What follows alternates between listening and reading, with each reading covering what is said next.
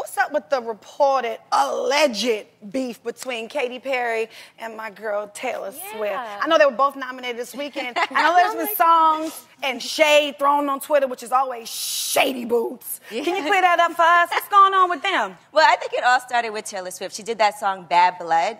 And she didn't say who she was talking about at first. She said it was a mean girl, but it turns out she was talking about Katy Perry. Wow. She Now- said that? That get Yeah.